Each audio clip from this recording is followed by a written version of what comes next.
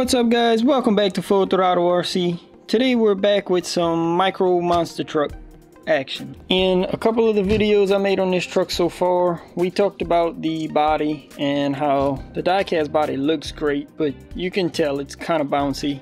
I'll throw some footage of it up here. You can tell it kind of limits the truck. It's heavy. The suspension really isn't made to handle that much weight. It would be a lot better if we had a lighter body on here. One of my problems is I really like the Son-uva Digger look. I like the way the truck came out. I like the stance of it, the way it looks. But I do want it to perform a little better. I looked at a bunch of options from picking up one of the plastic models from Walmart and getting the body, but I also wanted to keep the cost down. I looked all over the web for a 3D model of this body that I could modify for 3D printing and couldn't find anything. So I took my time and went through and designed one myself. Now, it's definitely not the best because I'm brand new to this software that I had to use, but I designed it in two halves so it was easy to print and printed it up myself. I printed this in PETG, that way it'll be easier to sand in PLA. It's purple because that's the color of the PETG I had. It looks like I got the scale pretty close and the details are actually quite nice. I got the grill in there, the headlights, and I'm thinking about actually modifying this, drilling some holes and putting in some blue LEDs in there to finish off the look. So today, for a little quick video, we're going to glue these two halves together and get it actually mounted on the truck. So this original body, I had put Velcro underneath. You can see I actually had to layer it to make it fit. And I'm thinking we might have to do the same thing here and add some layers of plastic here to make it fit. I wanted to actually model that into the body so it would print, but that was kind of hard to take dimensions on. I figured it would be easier to just glue. So I'm gonna set the camera up so I can get some nicer shots and we'll glue this together.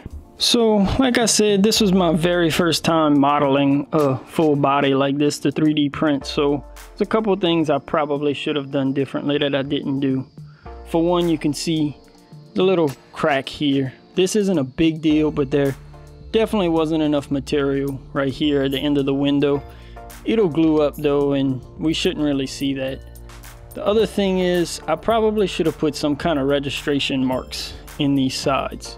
That way when I put some glue on there, I could have just lined those up, pushed them together, and held them tight. Instead, since I don't have that, I'm gonna actually tape it together. Hopefully the seams will line up nicely, but I do still have to sand it after, so if they aren't perfect, we'll be able to smooth them out with sanding. I am just using CA glue for this. It shouldn't be too bad. Um, my plan is kind of to make a little hinge, I guess. So just like that, and now I can run a little bead of glue along the side here and put it together. And then I'll actually run some tape along the edges as well here.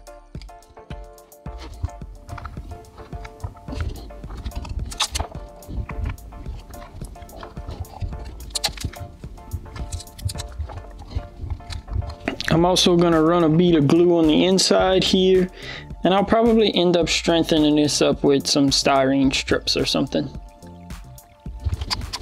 With that glue set we can now get an idea of the size of the body compared to the original. It is a little bit narrower, not too too much but just a tad. I think the length is just about perfect which looks like it is. The height is nice and overall body seems to fit well on the truck. So I'm pretty happy with that overall. Like I said I do want to strengthen this joint up a little bit. I'm sure you've seen in past videos that the body can uh, get knocked off so I don't want it to come in two. Got a couple of these little scrap pieces of styrene here. I'm just gonna go in and glue them kind of stitching the seam together